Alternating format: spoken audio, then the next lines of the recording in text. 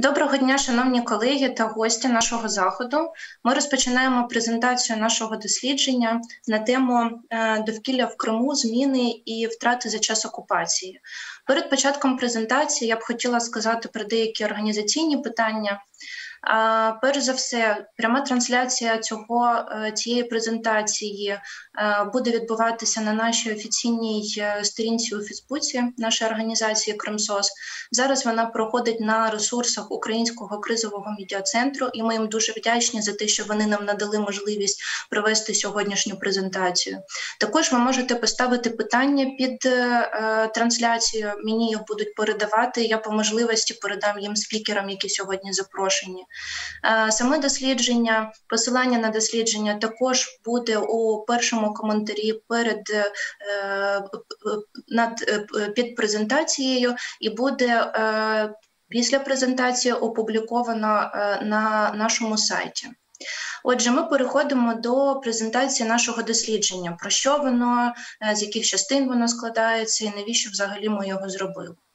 Отже, це результат нашої великої амбітної мети. Ем, поговорити і розповісти про ту ситуацію, яка склалася в Криму, чому так склалося, які наслідки і які загрози у майбутньому е, можуть відбуватися. Сьогодні ми презентуємо тільки першу частину нашого дослідження, яка присвячена знищенню дикої природи.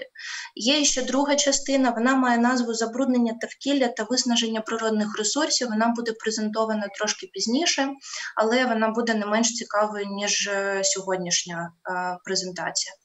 Отже, е, при дослідженні, при на початку дослідження, і вже потім ми хотіли е, розповісти про те, е, які саме негативні зміни виникли в результаті рішень або бездіяльності е, органів е, Російської Федерації та окупаційних адміністрацій, які саме норми міжнародного права були ними порушені, і також сказати про причини причини погіршення екологічної ситуації на окупованому на території окупованого Криму.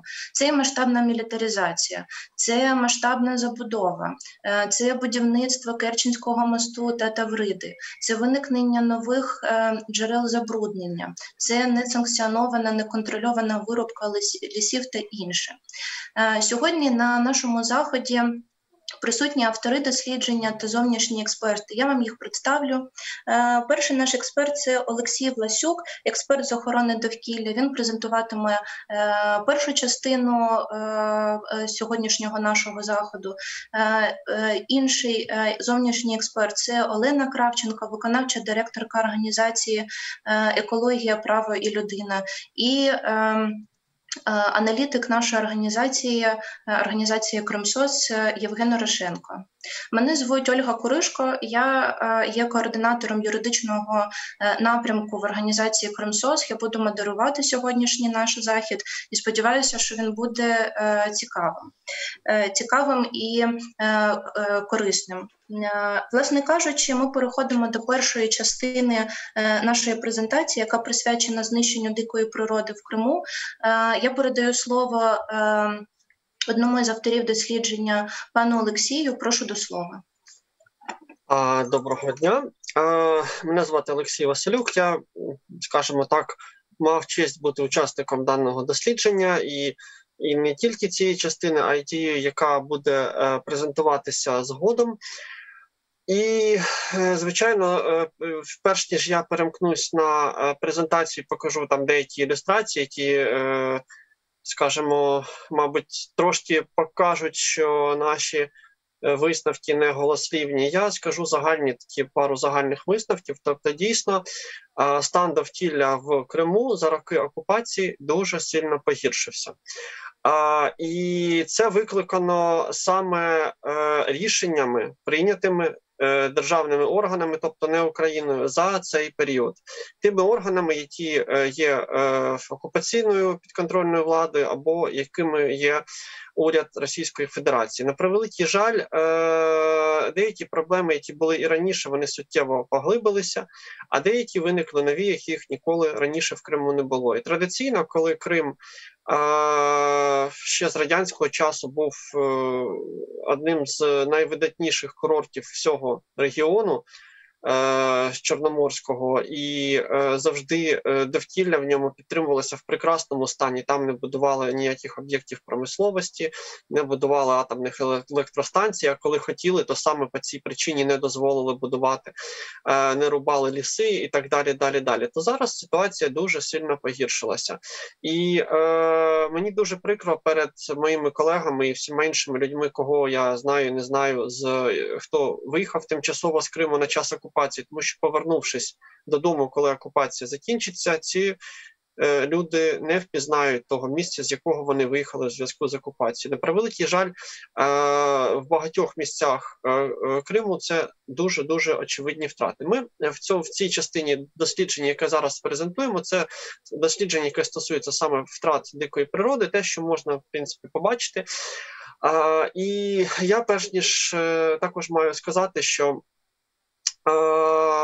Крим це не просто територія, яка цікава в плані відпочити, пофотографуватися, е, помандрувати і отримати задоволення. Крим це територія, яка має велику природну цінність. Дуже багато видів е, рослин і тварин, які є в Криму, вони є лише в Криму, ну принаймні на території України. А є такі, які взагалі є лише в Криму, і більше ніде їх в світі немає.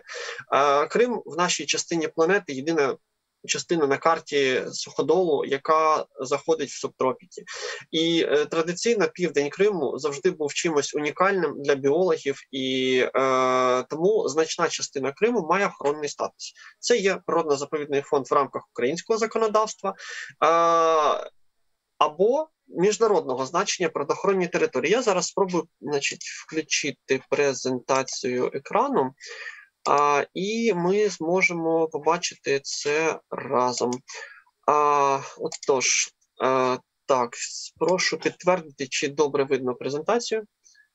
Так, дякую. Отож, е, частина території Криму вже зараз входить до смарагдової мережі Європи, і це є рішення Ради Європи. Е, це верхня картинка, там де зелененькі контури. Це практично всі Кримські гори, весь Керченський півострів і е, всі е, водойми е, озера, які оточують і затоки, які оточують Крим. І також значна частина цих територій, друга друга картинка жовтого кольору це території, які входять до е, е, міжнародних е, міжнародного значення водно-болотних угідь, які охороняються згідно з Рамсарською конвенцією.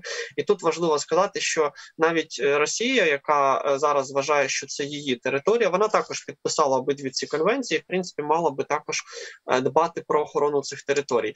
А також є окремі рішення окремих конвенцій конвенцій про охорону китоподібних і про охорону біорізноманіття. Це взагалі конвенція, рамкова конвенція ООН. Обидві ці конвенції за останні три роки прийняли рішення про те, що е, Керченська протока є е, найкритичнішою точкою на карті одної з двох, я так розумію, на карті Європи і головною в Україні критичною точкою для охорони е, в плані охорони китоподібних, тому що через неї три види китоподібних дельфінів е, Азовського моря мігрують між Азовським і Чорним морем. У зв'язку з будівництвом Керченського мосту дуже значно погіршилася ситуація з міграцією їх, почастішили випадки викидання їх на берег. А всі китоподібні охороняються конвенцією, є глобально зникаючими видами. А ті, які Е, от власне Азовка і Білобочка, два азовських вида китоподібних, е, взагалі є е, надзвичайно рідкісними і видами вимираючими.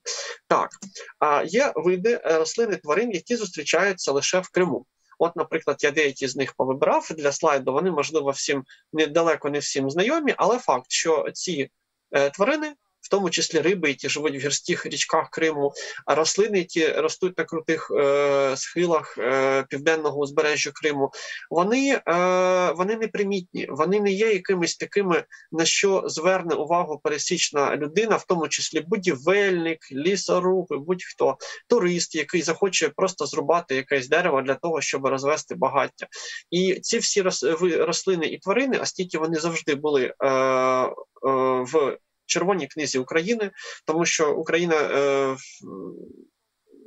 дійсно традиційно вивчала, охороняла природу, в тому числі в Криму. В Червоній книзі Російської Федерації їх немає, тому що Криму не було раніше в Російській Федерації, і Росія ніяк їх не охороняла і не збирається охороняти зараз. І виходить, що оці всі види, які вони не примітні, на них ніхто не зверне увагу, але вони можуть зникнути з лиця землі через, наприклад, ми не знаємо, чи є от весь другий і третій рядок це все тварини, які залежать від гірських річок Криму, саме від тих річок, русла яких перекинули для наповнення водосховищ. Ми навіть не знаємо, чи ці види тварин досі існують в Криму. І ми не можемо поїхати це перевірити, але ми впевнені, що е, цим видам вони їхнє життя залежить від збереження е, кримських Е, річок, саме тих, які русла яких перекинули для наповнення водосховищ. Можливо, їх просто більше немає. Так само, як зі сосною Станкевича. Хто не розбирається, вона буде для нього виглядати так само, як і звичайна сосна кримська. А її кількість особин можна на пальцях порахувати настільки мало залишилося цих унікальних сосен, які є лише тут. Ось е, а випадки вирубки рідкісних видів, як ялівців, які були на попередньому слайді, так і фісташок, які також охороняються і Червоною книгою України, і навіть Червоною книгою Російської Федерації. І Випадків вирубок дуже багато. Ось на слайдах є ну, приклади е, вирубки тисячолітніх ялівців або цілих багатьох гектарів. Ялівців на превеликий жаль, це е, якби та реальність, якої ніколи не було під коли е, в Криму е, була Е, Крим був як і раніше в складі України. А підконтрольна влада на превеликий жаль почала з перших ж місяців дозволяти ось такі дії. А най е, в цьому в цій презентації я зупинюсь лише на кількох самих таких масштабних загрозах, тому що Насправді ми описали дуже багато всього. Це і пожежі в степових ділянках, і залісення степових ділянок, там де нічого не буде рости, і розорювання степових ділянок, виробки в лісах, і е, маса маса всього. Але є якісь речі, які більші за все інше, які масштабніші за все інше. А, Наприклад, е, на першому місці безумовно будівництво Керченського мосту і траси Таврида. А, Щоб е, ось на центральній картинці слайду видно, наприклад, замулення, яке е, було створене в сезон нересту в зв'язку з просто цю частину протоки пересипали для того, щоб будувати міст. Ну ви розумієте, що міст він переважно є дамбою, фактично, і лише невеличкий є проліт, через який тепер так складно мігрувати і рибі на нерест в Азовське море і назад, потім до Чорного моря, і е, дельфінам, тому що що е, всі ці тварини ну абсолютно не звикли до того до тих до того шуму, до тих вібрацій, які утворюють рух транспорту, і е, в тому числі залізничного е, на мосту. Але е, більша частина протоки вона просто пересипана. І коли відбувалося пересипання, було сильне замовлення, якраз був сезон нересту. І е, також, е, принаймні, у нас є інформація, е, як про те, що деякі види риб в зв'язку з цим знизили свою чисельність. А вже в перші місяці після того, як опори мосту побудували, стався колосальний затор криги в перший же рік. І якби була більш морозна зима, наприклад, тобто ну от є е, дослідження, на які ми посилаємося, дослідження гідрологів, є підстави думати, що стільки затори криги точно будуть. Вони почалися з перших місяців, е, бо е, бо так вже побудовані е, морські течії в цьому регіоні, що крига виходить через Керченську протоку в Чорне море. Якщо буде більш морозна зима, більш потужна, потужний шар криги, не виключено, що це в якийсь з наступних років зруйнує міст. Але е, тим не менше, на сьогоднішній момент, коли утворюються затори, це порушує фенологічні процеси в природі, тобто риба не може мігрувати і подібні тоді, коли вони звикли мігрувати, затримується нерест, і в принципі гідрологи вважають, що е, в найближчі роки можливо навіть повне замулення Керченської протоки, в зв'язку з чим Азовське море може стати, ну грубо кажучи, гнилим напівпрісноводним озером.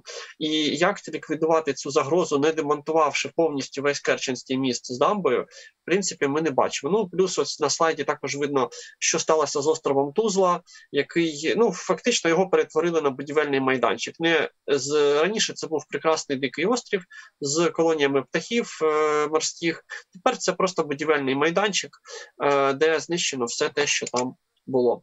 А на суходільній частині, коли вже міст переходить на до Кримського півострова, розпочинається траса Таврида і тягнеться аж до Севастополя.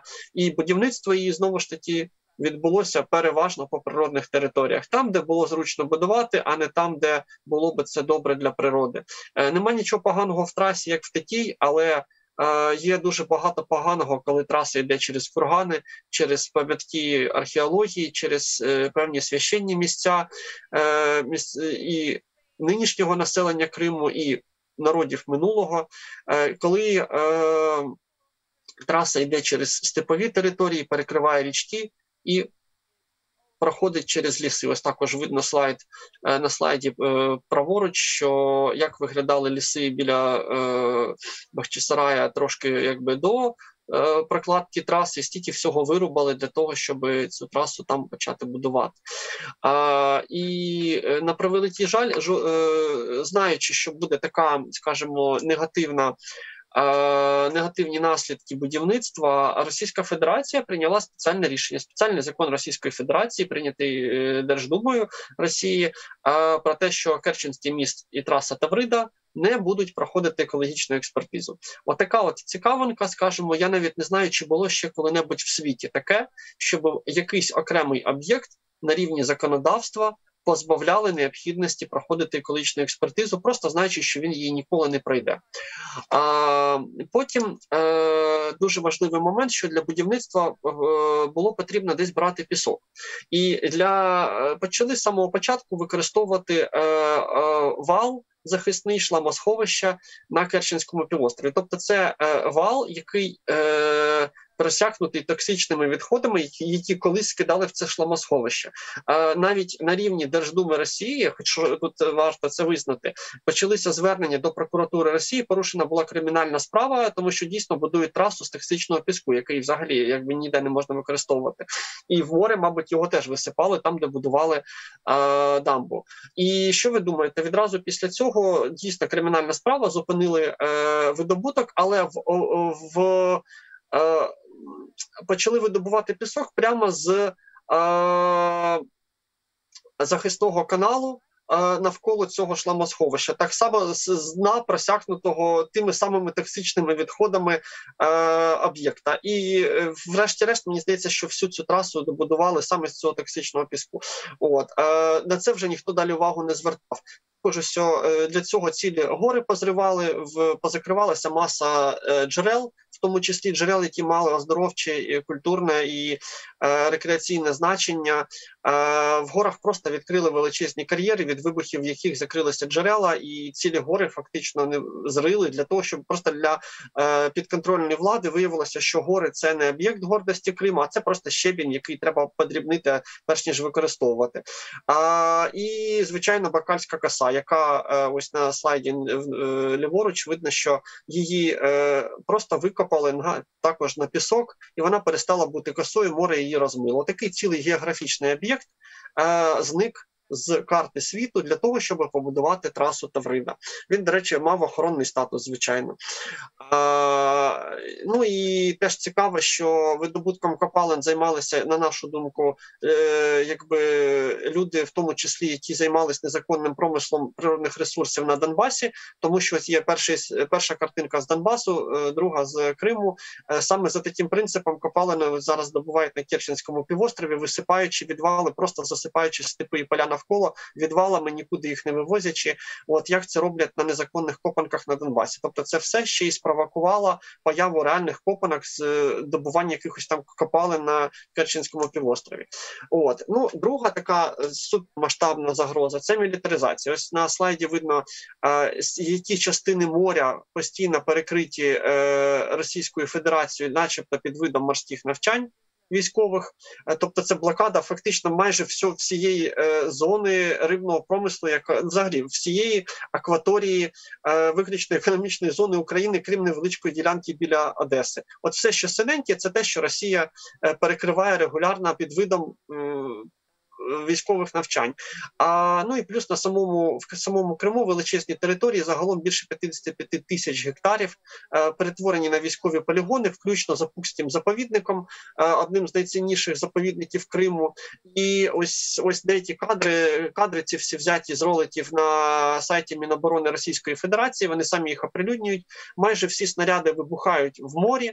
Там, де є рибний промисел, де є китоподібні, і мені здається, що це є ну фактично це є знищення всього живого, що є в в радіусі кількох кілометрів від е, зони проведення навчань. От я нормально ну всі уявляють, пам'ятають з радянських фільмів, як виглядає, коли браконьєри кидають динамі, шашку динаміту в озеро для того, щоб там вбити все живе, і потім позбирати найкрупнішу рибу. Вибухи водневих бомб в акваторії це знищення всього живого в колосальному просто радіусі. Ні, ніякі риби, ніякі дельфіни в дуже дуже великому радіусі від цих е, місця проведення таких навчань жити не зможуть. А і е, а це відбувається. Це просто регулярно раз в місяць можна такі ролики побачити на сайті Міноборони Росії. Ось вам кадри з Опутського заповідника. Е, одна з найбільших в світі популяцій дикого тюльпана Шренка. Це цей тюльпан він зараз є вимираючим видом. А колись давно його багато століть тому його вивезли саме звідси, і він став пращуром всіх домашніх тюльпанів світу. А тепер в природі це зникаючий вид, який зберігається в останніх ділянках Приазов'я і Криму, які лишились в природному стані. І от заповідник, який потім просто перетворили на вижену землю військовими навчаннями. Це місце, де була найбільша така популяція. Ми порахували. Ну якби теоретично хтось колись колись пред'явив Росії збитки за знищення цієї популяції, це було б близько 66 мільярдів гривень лише лише одні ці тюльпани. Якщо просто по таксі по українському законодавству перерахувати стільки коштує знищення одного тюльпану. Але ж ну звичайно, що це ніхто так не порахує, ніхто не це е, навряд чи станеться найближчим часом. Але нам вдалося зробити в одному ракурсі е, кадри знайти з до і після того, що там відбулося. А прекрасні птахи, глобально вимираючі види, які гніздують на території Хетчинського півострова, я не думаю, що вони гніздують під час проведення військових навчань там і е, е, лежень і. От останні два види е, е, зображені на слайді. Вони е, це види, які зустрічаються в Україні з чисельністю 20-80 особин. Тобто, в деякі роки вченим вдавалося побачити останні 20 особин цього птаха. А а тепер там військові навчання. Ми знову ж таки не знаємо, чи досі на території України і Криму ці види збереглися, тому що саме ці місця були останніми, де вони гніздували. От ось теж частина путського заповідника. Ну я думаю, що зрозуміло, не треба коментувати цю картинку. Просто е, коліями танків і вибухами все перетворено на. Е, просто знищену територію. От ну і е, ось ці дві картинки внизу це демонстрація, чому я кажу про е, випалену землю. Випалена земля це не мається на увазі, що там підпалили траву. Під час вибухів снарядів е, вивільняється е, в повітря сполуті сірки, а а ті, що не встигають частина снаряду прореагувати, це просто порошок, який потрапляє в ґрунт. І це сірка, всі пам'ятають зі школи, як утворюється сірчана кислота, сірка плюс вода, а водою тут може бути туман, дощ, роса. І утворюється на всій цій площі розпорошення сірчана кислота і просто спалює рослинність. Те, що потрапляє в атмосферу під час вибуху, те, що встигає прореагувати разом з хмарами окислюється і з дощем випадає знову ж таки кислотним дощем. І тому там, де була зелена трава, тепер ми бачимо просто випалену землю. І випалена вона якби ну буквально кислотою. От і площа такого, якби плюс-мінус, якби ну не 100% покриття, звичайно, але площа такої випаленої землі на Керченському півострові близько 55 тисяч гектарів, а не 44 гектари, як це написано на сайті Міноборони Росії. І це ну таких втрат ніколи не було в історії на території Криму. Там ніколи не було таких військових дій. Там ніч. А отак, от щоб просто за пару років просто випалити 55 тисяч гектарів унікальної рослинності. Е- в одному місці такого, в принципі, і нарешті території України ніколи не було. Тому е, так я зараз зупиню демонстрацію. А, І тому якби хочу підсумувати, що от коли потім ми працювали над цим дослідженням, це було декілька місяців, дуже багато переговорів, кілька тисяч матеріалів, які ми передивилися. Ми листувалися з НАСА, щоб отримати супутникові знімки або дані дистанційного зондування землі, які ми аналізували. І е, на превеликий жаль, от саме такий сумний висновок після цих кількох місяців досліджень, е, які про кілька чоловік проводили, те, що майже всі оці жахливі, скажімо, руйнівні для природи природи рішення прийняла саме підконтрольна влада. Російська Федерація так вона зробила саме страшне. Вона прийняла рішення будувати без екологічної експертизи Керченський міст і трасу Таврида. Тобто, саме великий вона прийняла рішення проводити військові навчання. Тобто самі жахливі речі, звичайно, прийняла рішення е, були рішення федерального рівня.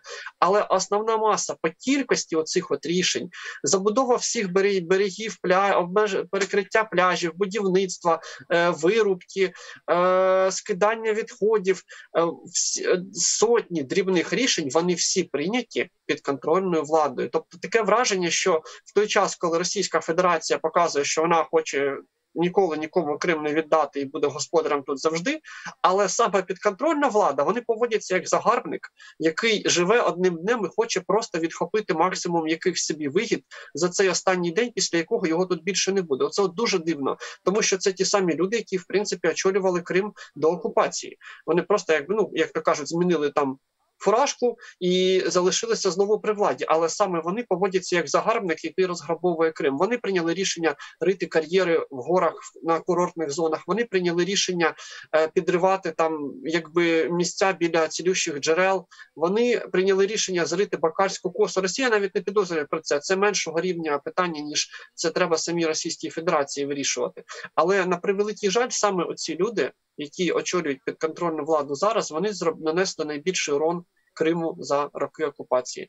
Я дякую і я сподіваюся, що коли буде презентація другої частини нашого дослідження, також буде цікаво. Ну і плюс я. Ще маленька репліка, що е, зараз я звичайно довго говорив, але це лише невеличка частина тем. Тобто, дослідження наше на превеликий жаль вийшло настільки більшим, ніж ми могли припустити, і ми думали, що це буде декілька десятків сторінок аналізу, що там сталося, якби а виявилося, що воно просто дуже дуже великим е, відбулося. І я дякую всім іншим колегам, які долучилися до цієї праці. Мені приємно було з вами працювати. Дякую, пане Олексію. Е, знаєте, я коли слухала слухала презентацію, ну чути бути в процесі це одне, коли ти наглядно бачиш. Е, е, ці жахливі наслідки від тих дій, які відбуваються там. Я навіть хотіла знаєте, спочатку вам задати питання: а яке ж е, які ж дії чи бездіяльність ви вважаєте найбільш жахливими? Але я думаю, що все, що ви показали, і все, що ви розказали, воно якомусь на одному щаблі, бо всі ці дії є жахливими і їхні наслідки є жахливими. Е, Я вам дякую за вашу презентацію. Від себе я хотіла додати. Е, як наша організація займається багатьма аспектами, які пов'язані з е, захистом прав жителів тимчасово окупованої території. І я точно пам'ятаю той період, коли будували Тавріду, і скільки для нас до нас було звернень від е, людей, які мали якісь будинки недалеко, але або е, мали якісь е, присадибні ділянки, і вони зверталися з тим, що е, і тоді, тим паче, через деякий час вони вже нічого не можуть вирощувати на своїх городах, і вони е, зверталися навіть до. Окупаційних органів влади, але там відповіді ніякої немає, е, і така кількість людей достатньо велика. Е, я вже бачу нашого наступного спікера. Пані Олена, я вас вітаю. Е, наступне наступне питання е, таке. Є декілька кейсів або навіть багато кейсів е, конкретних, для дослідження яких необхідно необхідно мати фізичний доступ до Криму, який зараз е, зараз якого на жаль немає. І е, ваша тема є достатньо складною. Вона називається захист довкілля на окупованих територіях і що може зробити громадськість, оскільки е, ми, на жаль, можемо е, ну зараз, як я бачу, да там спостерігати е, за тим, що відбувається там, і намагатися щось зробити, довести міжнародній спільноті або навіть Україні про те, що там відбувається. Я дуже би хотіла вас послухати е, про те, що ви нам розкажете. У нас е, у вас є ліміт 15 хвилин. Прошу. Доброго дня. Ну, При бажанні можна багато а, зробити. На жаль, війна а, зачіпає і людину, і а, як таку, і довкілля, і для нашої організації довкілля є мовчазною жертвою російсько-української війни 21-го століття. І ця мовчазна жертва не може себе захистити. І і відтак це завдання екологів і юристів екологів і мешканців тих, які хочуть там захистити, і біженців, і е, тимчасово переселених, всіх нас разом ми можемо зробити дуже багато для нашого довкілля. Ну і прикладом є декілька наших досліджень, які ми провели, які ми е, продовжуємо проводити, в яких і Олексій брав участь, ще працюючи в нашій організації. В першу чергу ми досліджували території Луганської і Донецької областей і приведу деякі факти, що на цій території громадськістю було досліджено результатом дослідження є те, що близько 500 тисяч гектарів екосистем в тій чи іншій мірі знищено. І із цих 500 тисяч гектарів 80 тисяч гектарів це об'єктів природно-заповідного фонду. Об'єкти природно-заповідного фонду це те, що є найбільш цінне. Це заказники, заповідники.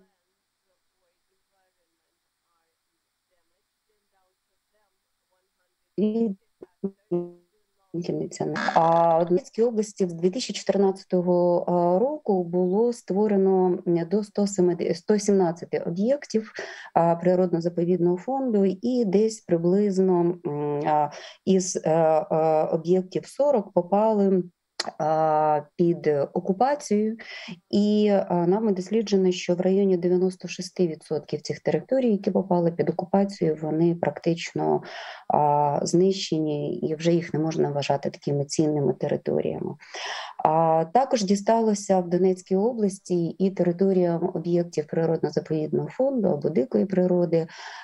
Теж чимало 17 об'єктів постраждало. Це до 39, майже 40 тисяч гектарів території.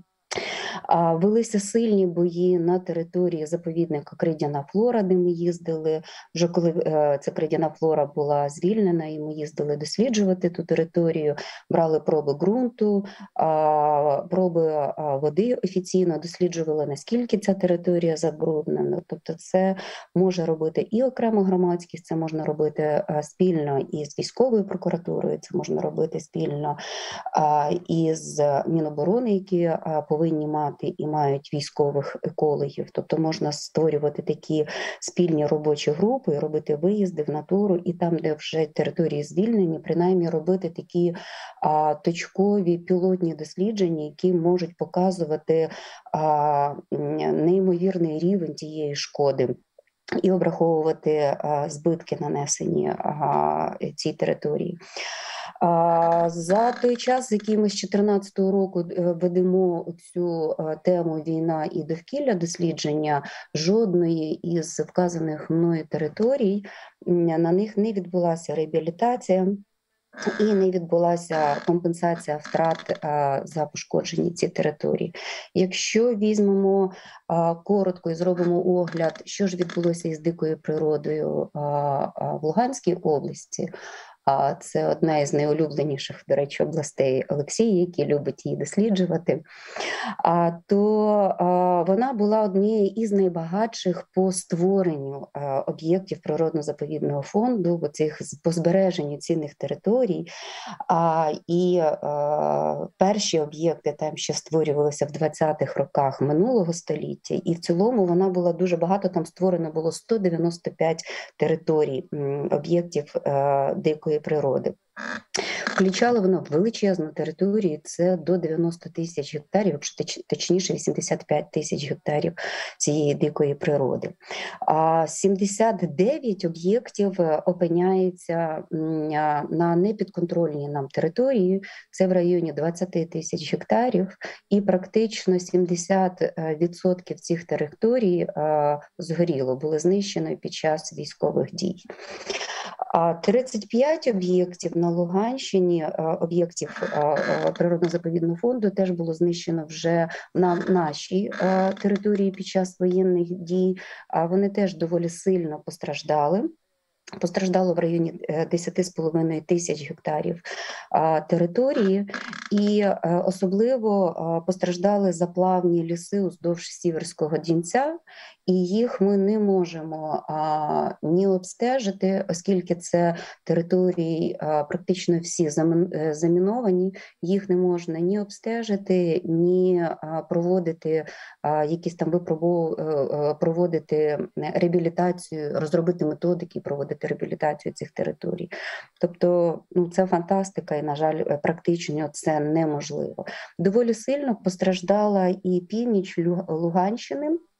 Це вже на нашій непідконтрольній нам е, Україні території постраждало внаслідок фортифікаційних споруд, тобто це і горів ліс, це і рубався ліс для створення фортифікаційних споруд, горів ліс, е, е, створюючи, ну захищаючи людей, захищаючи наших військових, тобто створювалася така вогняна стіна, яка давала можливість нашим воїнам відійти.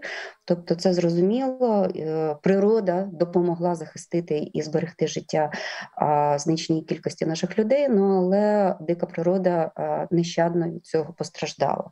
А особливістю такої проблематики збереження. Довкілля на Луганщині це є відкриті кар'єри і видобуток вугілля відкритим способом. Там на десятки тисяч кілометрів простягаються ці кар'єри і з горами цих порід. І влада, на жаль, ніяким чином, влада наша українська ніяким чином на це не реагує, з тієї сторони тим більше не реагує. А чи якщо говорити, чи рахували ми збитки нанесені довкіллю? Так, ми пробували це робити через знищену частину об'єкту природозаповідного фонду Донецький кряж. Ми робили підрахунки в 15-16 роках. За кількістю є методика вартості е, дерев, робили по цій методиці і порахували, наприклад, для чого ми це робили? Щоб показати владі, що природа має свою ціну, і ця ціна дуже висока.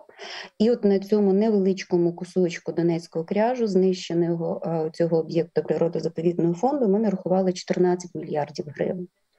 Якщо порахувати збитки, нанесені а, а, окупаційними е, військами, владою і в Криму, і в Луганській і в Донецькій області, це будуть мільярди. І не гривень, це будуть мільярди умовних одиниць.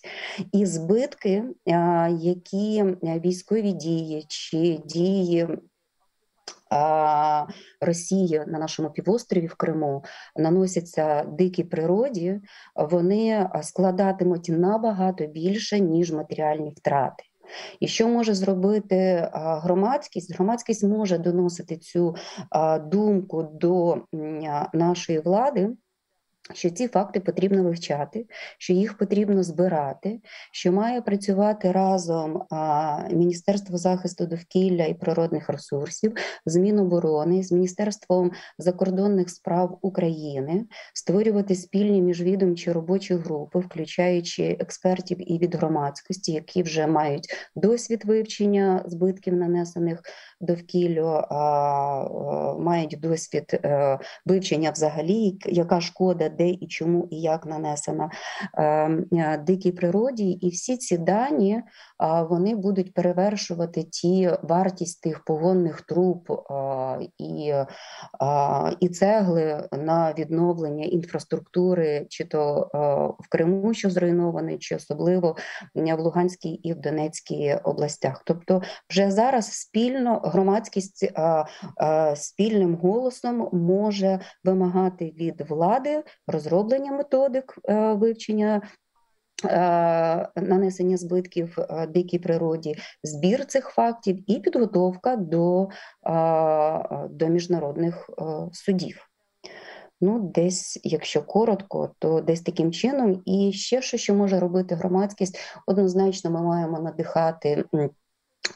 І наш уряд, і наш парламент робити цю роботу системною і пам'ятати про людей, які живуть в цій е, в цьому зруйнованому довкіллі, пам'ятати те, що не тільки е, ну, довкілля воно не існує само по собі, в ньому живе людина. Тобто людина не зможе жити в зруйнованому довкіллі, неможливо буде в забрудненому ґрунті і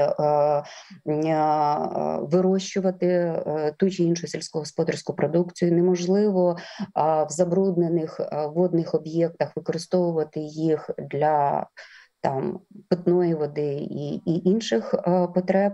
І про це наша влада має пам'ятати. Ми про це маємо їм нагадувати, тому що у нас може бути в дуже скорому майбутньому не біженці внаслідок військових дій, а екобіженці, біженці внаслідок того, що вони що цілі, я не знаю, там навіть міста і, і райони вимушені будуть переселятися внаслідок е, екологічного лиха, екологічної катастрофи і неможливості жити людям на цих територіях.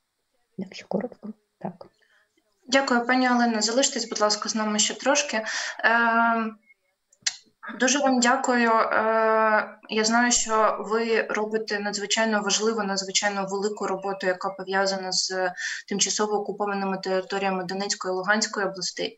Тема екології по Криму вона не нова, але е, зараз, е, в тому числі у зв'язку з великою увагою до ситуації з водою, яка на жаль, відбувається в Криму, е, є е, увага да, на екологічну ситуацію. Але у мене до вас є питання: от зважаючи на ваш великий досвід, і зважаючи на те, скільки вже всіх механізмів і скільки всього ви пройшли, е, скажіть з вашого досвіду, ви можете сказати про якийсь успішний або е, якийсь пройдений е, етап захисту е, довкілля або якогось там елементу. Вибачте, я може там неправильно його називаю, але думаю, що ви мене зрозумієте, який е, який спрацював, і, наприклад, який можна було б запозичити, е, в тому числі для Криму.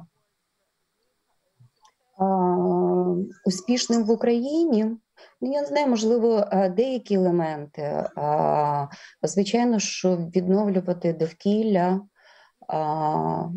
можна уже на тих територіях, які відвойовані нашими е, українськими воїнами.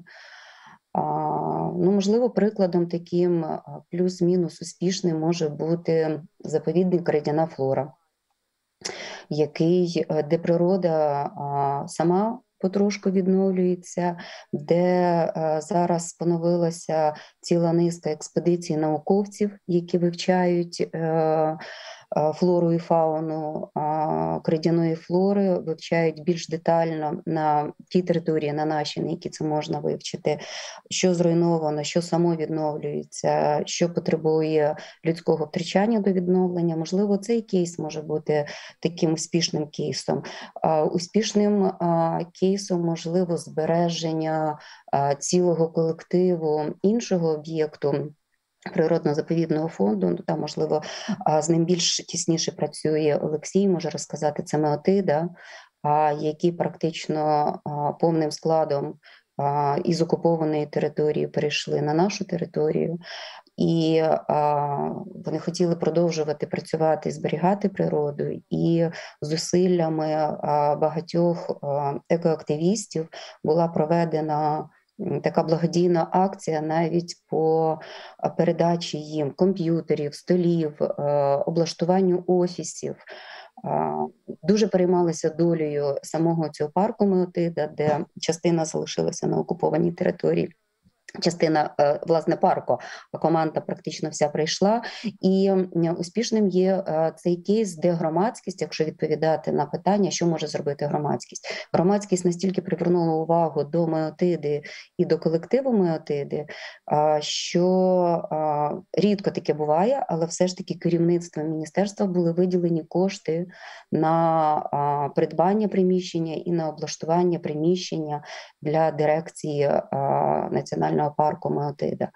Тобто, от громадськість привертає увагу і до людей, які а, хочуть захищати а, природу і є патріотами є відданими е, і довкіллю своїй країні, і, і до людей, і і до довкілля. Ну, такі, можливо, маленькі е, кейси, але вони дуже теплі, вони дуже людські. І, і у науковців і у експертів громадського руху із дирекцією кридяної флори і меотиди доволі теплі стосунки і така конструктивна співпраця на вивчення цих територій, на збереження цих територій, на реабілітацію, на відновлення, на наведення контактів із профільним міністерством, щоб вже не громадськість благодійними акціями і волонтерством, а держава виконувала свої функції і втручалася і допомагала і колективам виживати, і реабілітувати ці території. Дякую, пані Олено. Е, е, Прошу вас залишитися з нами до кінця заходу, бо, можливо, будуть питання, якщо у вас є можливість. Е, Ми переходимо до заключної частини, е, яка присвячена міжнародному правовому регулюванню захисту навколишнього середовища в окупованому Криму. Її представить мій колега, аналітик нашої організації Євген Ярошенко. Пані Олена, виключіть, будь ласка, мікрофон. Е, Я прошу, прошу до слова. Дякую, Олю. Передусім хотів би подякувати своїх колег за кропітку працю над дослідженням, яка тривала е, багато місяців. Ну і також хочу подякувати е, всіх, хто піднімає питання довкілля на окупованому півострові на різних національних і міжнародних майданчиках. Я би хотів коротко пройтися по тому, що регулює стан довкілля на в окупованому Криму, і як Україна, її громадяни, е, фізичні і юридичні особи можуть захистити свої екологічні права, як вони можуть задіяти механізми для захисту довкілля.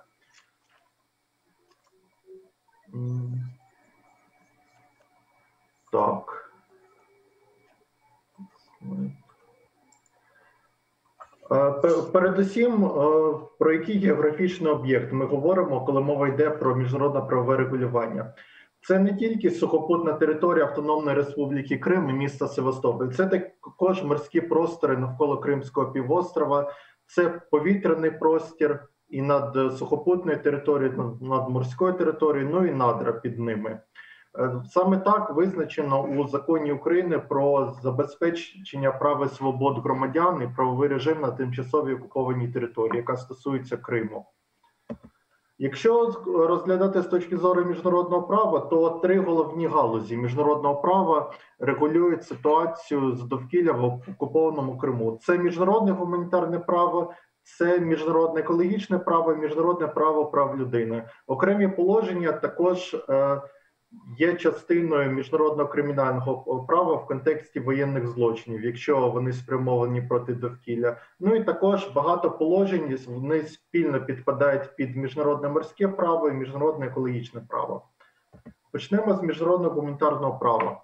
Окупація Криму, навіть якщо вона не супроводжується е, збройним спротивом, розглядається як міжнародний збройний конфлікт. Ну і відповідно Росія має зобов'язання за міжнародним гуманітарним правом. Ці зобов'язання містяться в четвертій Гаазькій кон- конвенції, в четвертій Женевській конвенції, додатковому протоколу 1 до Женевських конвенцій, ну і інших положеннях міжнародного гуманітарного права. Але варто зазначити, що міжнародне гуманітарне право воно дуже поверхово регулює захист довкілля. Наприклад, е, норми МГП забороняють здійснювати засоби і методи воєнних дій, які мають широку, довготривалу і серйозну шкоду для довкілля. Однак не встановлено порогового рівня, де визначається цей вплив на довкілля. Тобто МГП не прямо не забороняє е, здійснювати шкоду в довкілля, лише е, містить норми, які обмежують е, вплив на довкілля. Ну і також е, міжнародне е, Римський статут міжнародного крим, кримінального суду в якості воєнного злочину містить умисні дії, з- які е, завдають широкої, довготривалої і серйозної шкоди довкіллю. Однак застосування цієї статті доволі складне, бо треба одночасно доводити, що шкода завдана довкіллю була і широкою, і довготривалою, і серйозною. Е, Ну, щодо міжнародного екологічного права, тут варто зазначити, що ситуація виникла дуже цікава і складна. Е, З одного боку, е, Україна має е, багато зобов'язань по різних міжнародних конвенціях, однак вона не може їх виконати через відсутність контролю над Кримським півостровом.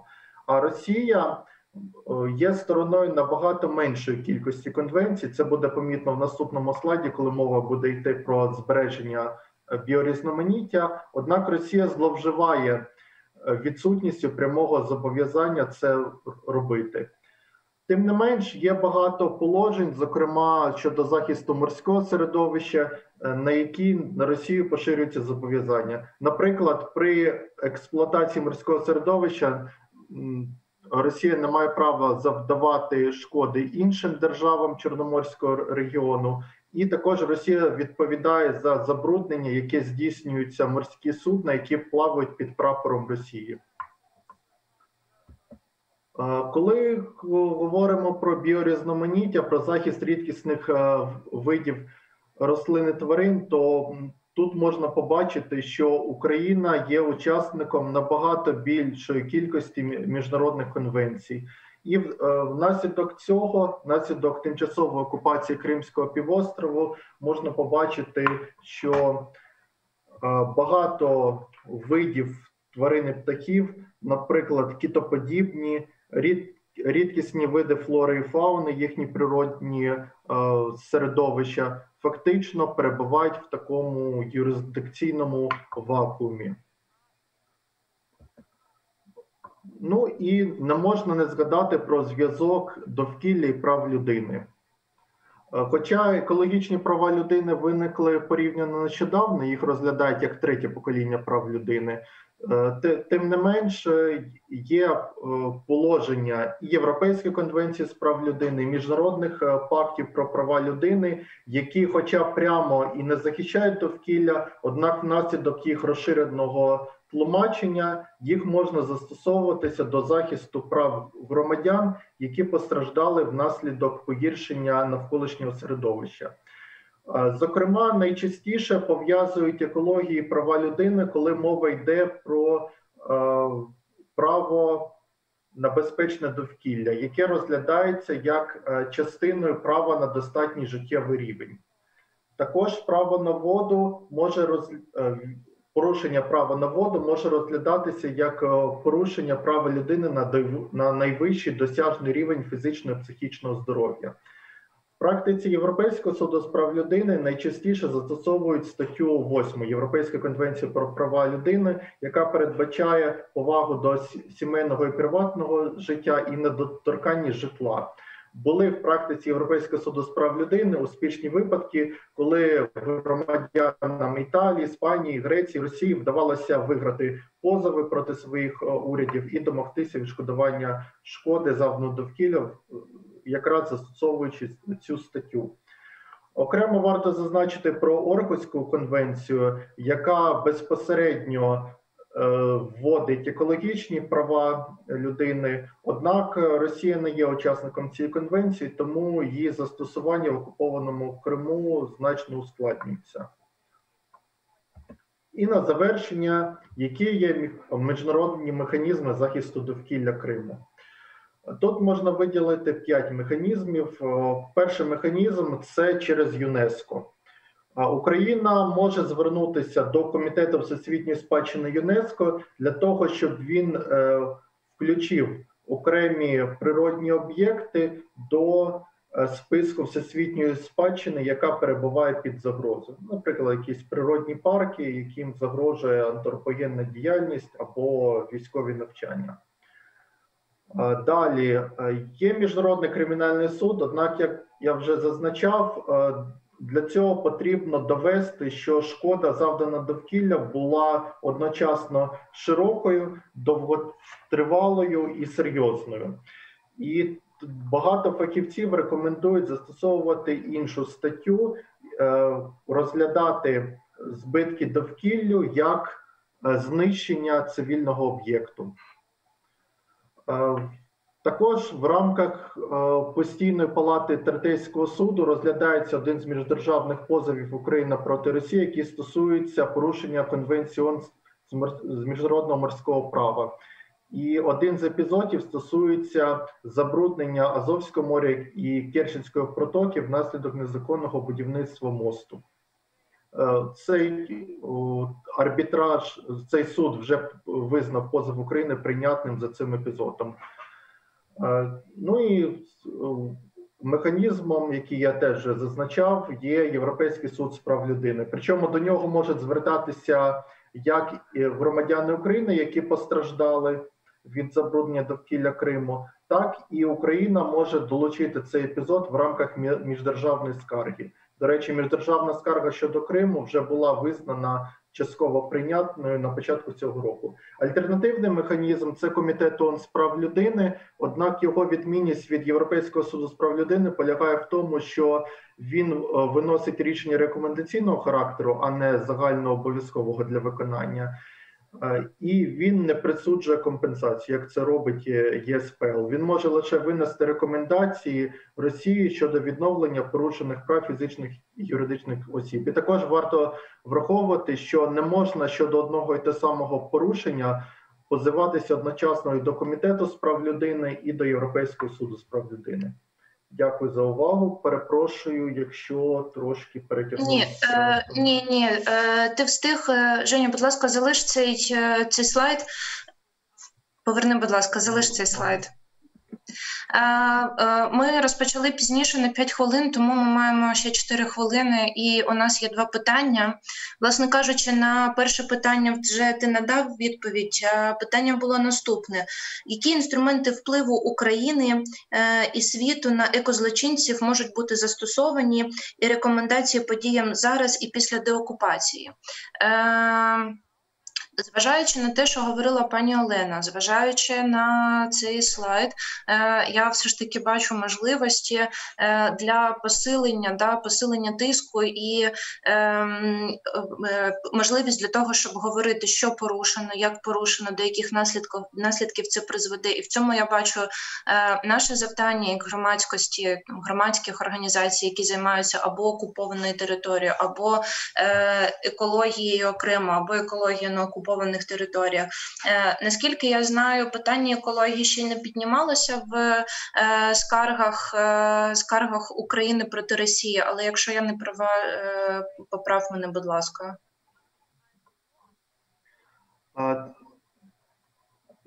Так, ну частково екологія розглядається в контексті так званого морського позову постійній палаті Третейського суду в Газі, де стосується порушень конвенції з морського права. Зокрема, е, як вже зазначав Олексій, будівництво Керченського мосту призвело е, поставило під загрозу е, життя багатьох дельфінів в цій акваторії, і тому тут.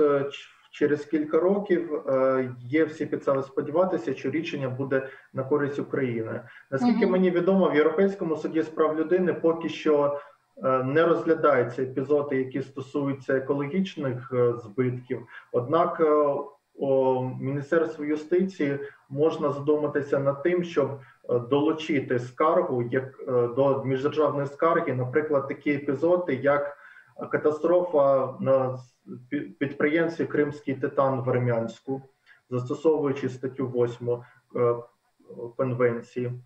Ну, е, з точки зору переслідування е, екологічних злочинців, ситуація ускладнюється тим, що важко довести, що злочини проти що порушення забруднення довкілля підпадає під юрисдикцію міжнародного кримінального суду.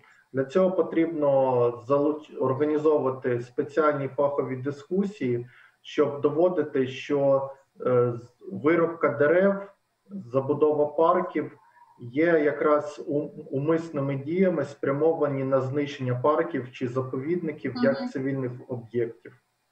Е, дякую, Жень. Е, це взагалі дуже цікаве питання. Я думаю, що наше дослідження стане початком документування збору фактів порушення е, саме у сфері екології на окупованій території Криму. Було ще одне питання: чи Кримсос долучиться до допомоги підготовки скарг до міжнародних інстанцій? Я думаю, що презентація цього дослідження і створення цього дослідження завдяки фаховим спеціалістам, завдяки нашим друзям. Вже є початком нашого долучення до цієї до, до, до цієї сфери роботи. Але так в планах у нас є передача передача задокументованих нам фактів порушень і того, що відбувається в Криму до органів державної влади, і як Євген сказав, для порушення окремої скарги або доєднання стосовно цієї екологічної катастрофи. І ще одне е, е, е, питання е, зараз, одну хвилинку. Е, ще одне питання, яке стосується е, дельфінів. Я його вже скинула пану Олексію, щоб він е, придивився його. Будь ласка, скажіть, чи досліджували наскільки постраждали дельфіни в окупованому Криму? Скільки їх загинуло? Бо періодично з'являється інформація про знайдення про знайдених мертвих дельфінів як на узбережжі, так і на морі. А, Так, дякую за питання. Ну, звичайно, що. Е- на це питання, як і на багато на багато інших, е, відповідь перш за все буде одна: ми не проводили досліджень на території Криму. Це з цього починається весь наш звіт. І здається, це навіть перший абзац цього е, величезного звіту. Ми не проводили і не могли проводити. Ми ніхто з нас при своєму розумі не намагався би проникнути на територію Криму. Е, Для нас це просто небезпечно. Нам не дозволить це плюс законодавство, і е, таким чином ми вивчали інформацію за відкритими джерелами. Відкриті джерела дуже різні. Це не лише повідомлення в пресі, е, а також ну якісь там соцмережі. Хоча соцмережі теж дуже класні речі, коли люди просто стрімлять е, е, відео онлайн, і ти бачиш. В якій координаті, в який момент це стрімилось. Це дуже достовірна інформація. Ти з цієї з цього відео можеш отримати більше інформації інколи, ніж той, хто стрімить. А по-друге, це супутникові знімки, які просто можна побачити онлайн або замовити в НАСА. І по-третє, це публікації науковців, е, в тому числі якби науковців там російських і кримських, які в своїх в своїх цілях, в своїх кримських і російських виданнях щось публікують, але це важлива інформація, яку ми можемо по-своєму трактувати. Але а, в будь-якому випадку ми е, через оці обмеження ми не можемо дати жодної точної кількісної оцінки. Так, ми дійсно згадуємо в нашому звіті, що випадки загибелі дельфінів шляхом їх е, ну через те, що вони викидаються на берег і гинуть, якби по своїй е, грубо ну я не хочу казати по своїй волі, це неправильно, але вони самі викидаються на берег і гинуть. Е, такі випадки значно почастішали в зоні будівництва. Керченського мосту. Це е, не ми придумали. Є е, саме в Україні, саме з числа переселенців з Криму є провідні фахівці нашого чорноморського басейну, не те, що Криму або України, провідні фахівці чорноморського басейну е, з. Е, китоподібних, вони є е, експертами конвенції з китоподібних. Ця інформація вперше була ними оприлюднена, а ми вже по ходу діла збирали дійсно багато повідомлень, багато фотографій, і е, можна лише якби точно стверджувати, що кількість е, дельфінів, які почали гинути е, в зоні будівництва Керченського мосту, дуже суттєво зросла. Це не можна не помітити. Інша справа, е, якби ж хтось ходив вздовж всього берега Керченської протоки з нашого боку, ну з кримського боку і з, російського, і перевіряв цих всіх тварин кожного дня, ми би мали цифру, не маючи цього таких робіт, а це нереально просто зробити. Ми не можемо назвати жодну цифру, але ми можемо дійсно пояснити, що це е, однозначно пов'язано спочатку з будівництвом мосту, потім з рухом транспорту, передусім залізничного, тому що дельфіни е, орієнтуються ехолокацією, спілкуються звуками між собою, і для них ось ця вібрація це ну. Е, вони ніколи в своєму житті не ба не чули такого важкого шуму. Е, ось нещодавно вийшов фільм Еполовський фільм про наслідки для природи пандемії ковіду від того, що десь менше стало плавати кораблів, і почали заходити в інші місця на нерест. Е, о, перепрошую, я кажу, народжувати е, своїх малютів китоподібні в інших регіонах, тобто навіть наявність кораблів заважає китоподібним е, поводитись так, як вони хочуть. А будівництво мосту і прогонка по, по ньому цілий день туди-сюди е, составів е, якби транспортних е, е, локомотивів з там 60 вагонами. Це нестерпно сильний шум для дельфінів, і вони просто уникають цього. Але ми бачимо, що вони не лише уникають. Для них цей шум настільки нестерпний, що вони викидаються на берег і воліють за власною волею загинути, аніж жити в таких умовах. І звичайно, це ну це жахливо. Тобто, ми е, допустивши будівництво цього мосту, ми створили для них такі умови, коли вони е, ладні накласти на себе, ну там не, не гарно казати, накласти руки для дельфіна, е, потінчити своє своїм життям, аби тільки не чути цього цього шуму. Звичайно, це дуже дуже сумно Дякую. і, і дійсно це є. Дякую, пане Олексію. Е, е, Ми, е, на жаль, маємо мало часу, і я дуже вдячна. Я дуже вдячна тим людям, які нас слухали, які задавали питання, бо це дійсно були гарні, влучні, влучні і цікаві питання як для мене, так і для спікерів. Є багато про що подумати. Наша робота не зупиняється, і ми будемо проводити дослідження і далі. Сьогодні ми закінчуємо презентацію першого, е, першої частини нашого великого дослідження з екології, яке називається Довкілля Крим в Криму, зміни і втрати за час окупації. Е, Шановні колеги, я вам дуже вдячна за те, що ви знайшли час і прийняли участь у цьому заході. Я бажаю вам гарного дня е, і до побачення.